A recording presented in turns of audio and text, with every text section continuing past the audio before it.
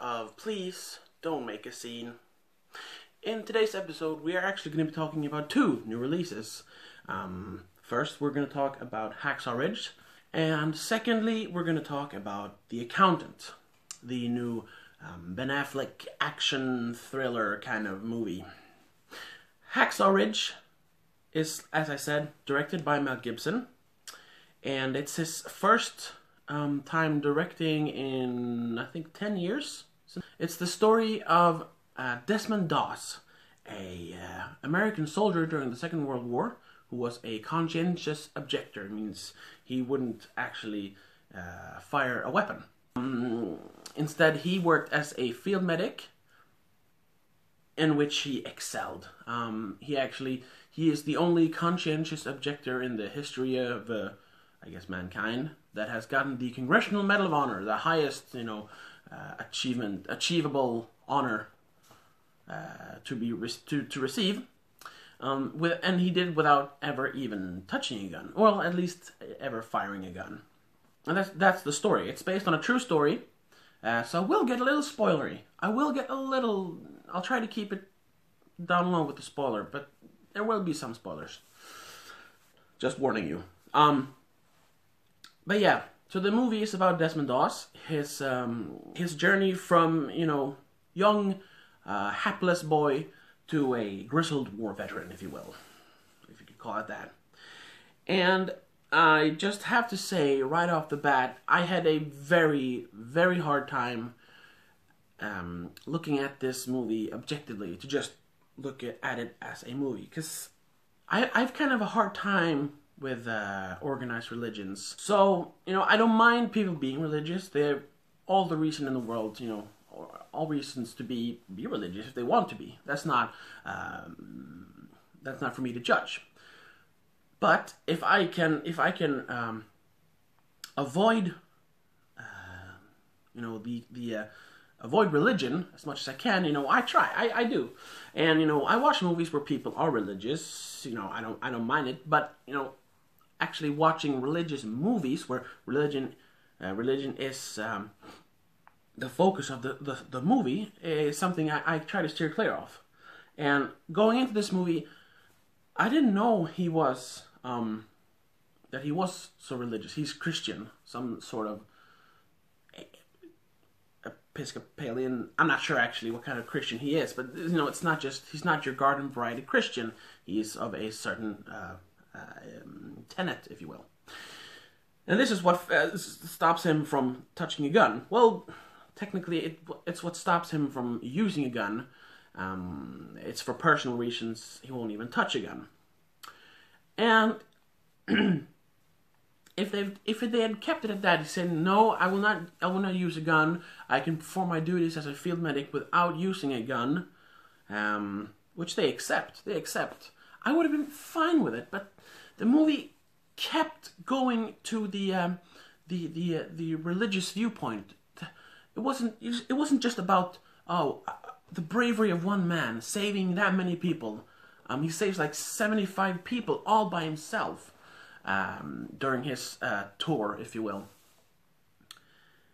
I, instead, they, they, they, they credit his his um, his feats to uh, God you know, instead of actually praising the man, they praise um, the fact that his faith allowed him to do this. Um, other than that, though, let's just you know let's leave that. Um, what else is there in the movie? Well, you know, on a on a technical level, the movie is pretty good. It's not great. It's pretty good. First of first of all, Mel Gibson knows how to direct violence. We all know this. Um, say what you will about Braveheart, um, but the uh, action scenes, the battle scenes, are great. You know, he really he portrays the violence very realistically, um, but still still making it entertainment and entertaining. Sorry, and he just knows his way around violence which kind of makes sense if you look at the person that is Mel Gibson. Sorry. And it's the same with Hacksaw Ridge. The battle scenes are great. Um, they're kind of small scale, mostly, and it condensed down to this small portion of the battlefield where these like 50 or 60 American soldiers are fighting against uh, maybe uh, a couple hundred uh, Japanese soldiers. Quick side note: I've never seen so many people uh, flying through the air while being on fire in a movie. There's just so many people just uh, in slow motion, flying always like this, oh, while on fire. Um, it's just something I noticed. They're all over the place. Um, so yeah, the battle scenes are great. Even the actors seems to um, up the ante while actually doing the uh, action scenes. However, the first third of the movie takes place before the war.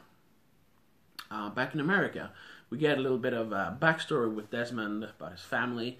We also get to see him finding the love of his life, played by Teresa Palmer.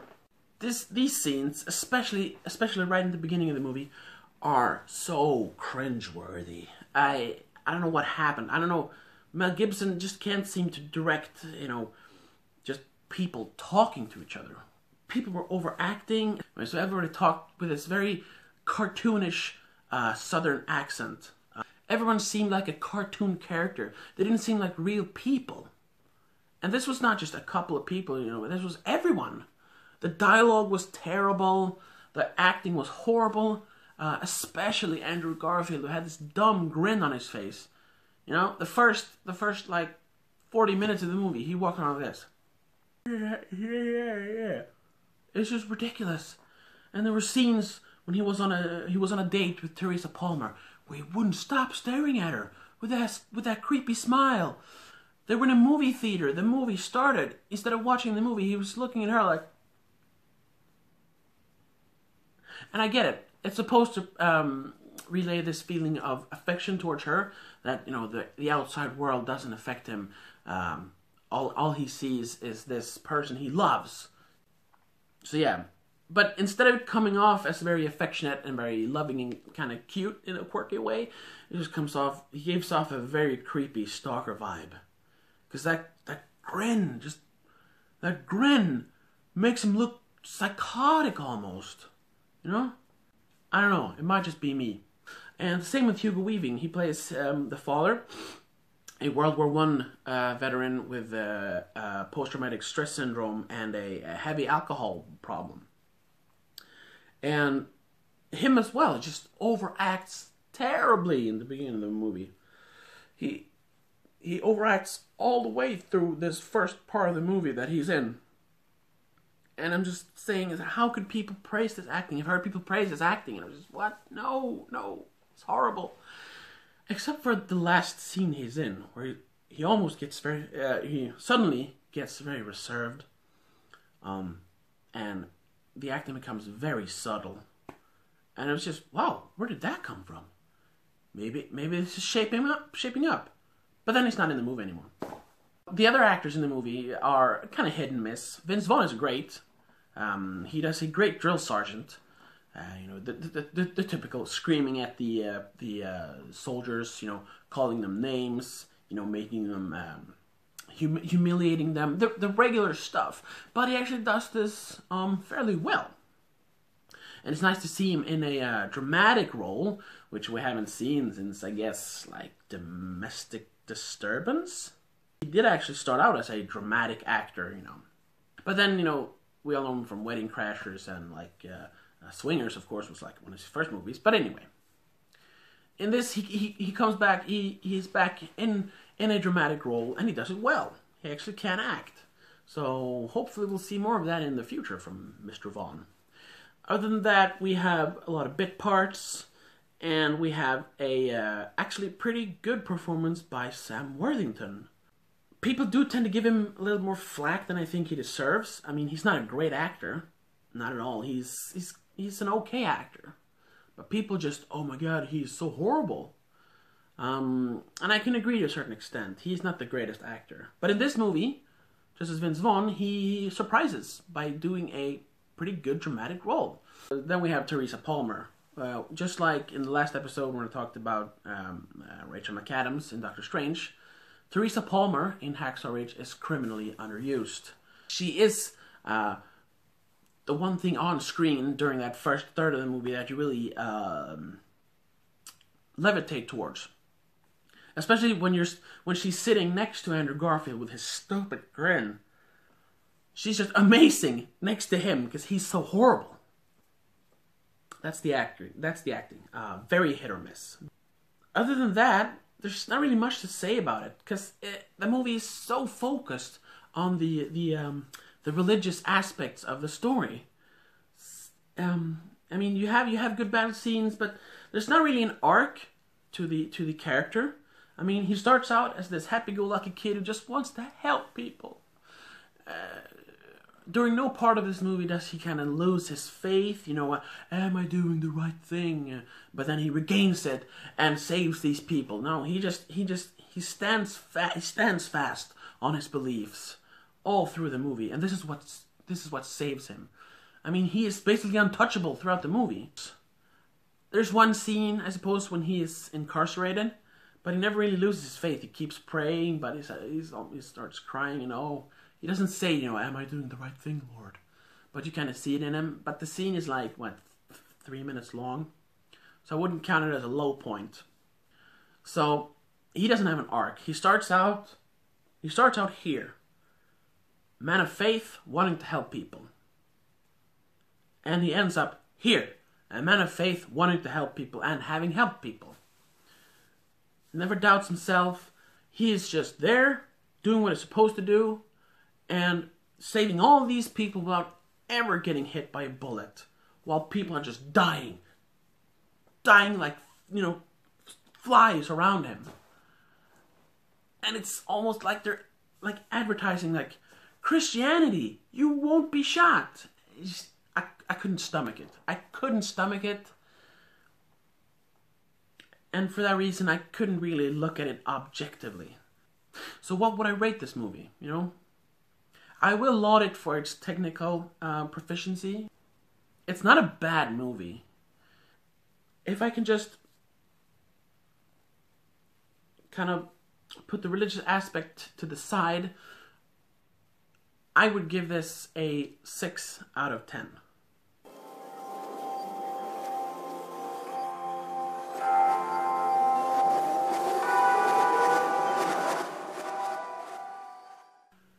The second movie we're going to talk about is, like I said, The Accountant. Uh, directed by Gavin O'Connor, starring Ben Affleck, Anna Kendrick, J.K. Simmons, and Jon Bernthal. This was one of the blandest movies I've seen this year. Wasn't really a bad movie, but it was certainly not a good movie. But uh, The Accountant revolves around the accountant, a man with a high functioning form of autism, which makes him great at math, uh, great at learning things, but horrible in social situations. And he's figured out that the most lucrative form of accounting is working for criminals. Uh, the mafia, the drug cartels, seedy uh, multinational companies, and shady oil sheiks. This do, however, put him in harm's way from time to time, and that is why he has become very proficient in you know martial arts and gun fu, if you will, gunplay. Uh, and the story revolves around him doing the accounts for this big robotics company. And he is figuring out that someone has been siphoning money out of the company for the last 15 years millions and millions of dollars. Uh, and just when he's about to figure out why, um, they fire him. You know, they give him his check, they say, We don't need your services anymore, get out of here. But that's not really how he works, you know. He has to fulfill what he starts doing. It's part of the autism. So he keeps digging on his own, which, well, puts him in harm's way. And that ends him up doing a lot of martial arts and gun fu. You know, a lot of punching, a lot of shooting, and a lot of running. In the middle of this, he has to protect Anna Kendrick's character, an accountant uh, working for the company, who helped him figure this out. So they start running from various henchmen and assassins. That's the plot. Simple enough plot. Um, you don't need much more in an action movie, but what this movie does, or the script rather, is that it has like two or three subplots which are completely unnecessary. You have the National Treasury agent uh, trying to hunt this accountant down, have, and have been doing it for the last 10 years. Uh, you have uh, the flashbacks about his uh, childhood, where he learns all this stuff, where we find out that he is autistic. And um, you have the story about his relationship with his brother, his kid brother, that, you know, kind of starts up but never goes anywhere. And you have this budding sort of romance between him, between him and Anna Kendrick. And they all start out fine. You're like, okay, that's a lot of that's a lot of plot strands, but okay. But in the end, they really they don't tie any of them up. It all just becomes ways of giving us exposition. Exposition we don't need because it is given in the main plot, the mystery around the robotics company. So really, they could have cut more or less all of the subplots and just focused on the mystery, the action, and the chemistry between Affleck and Kendrick. Because they do have a lot of chemistry, and if they would have allowed them more than 15 minutes 15 minutes of screen time together that could have actually added a lot of heart to this otherwise very cold movie. Because that's just what this is. It is a cold, bland movie where the actors are just acting enough so they actually seem to give a damn.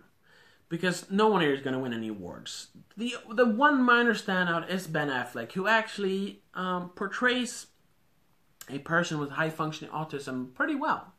This is not really enough so that you can enjoy the movie. It has all the, the ingredients to make a good movie, they just don't use enough of any of them. And instead, you get this gray, like, doughy mess that really doesn't amount to anything in the end. Too much exposition, which is just boring to listen to. And that means that they have to cut back on the action, so we only have like two or three really good action scenes but they have to have some action, so they have to cut back on the uh, the relationship between Kendrick and Affleck. So we don't really get that either. We're we're constantly being shortchanged throughout the movie. So in the end, you know, like I said, we end up with something that is painfully average, and that's really all you can say about it. And I'm giving it a five out of ten.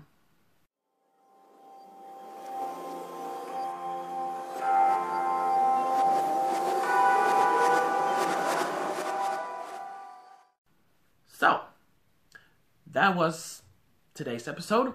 Um, and next week we're going to do something special. As you might know, the Stockholm Film Festival is going to start on now on Wednesday, the 9th of November. And I have um, quite a few tickets bought for that festival. I'm actually going to go see 19 movies over the next um, 11 days.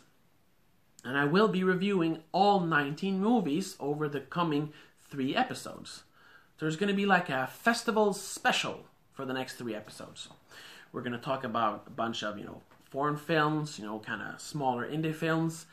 And I will try to cover as much of it on site, actually. I will be on the red carpet for one of the movies, and I will be. Um, I will be at an interview with with the director of one of the movies. I won't be interviewing him, of course. I don't have quite enough pull yet, but I will be filming the interview at least. So that's what's coming up. The next three episodes are going to be festival specials. So until next time, uh, have a good one.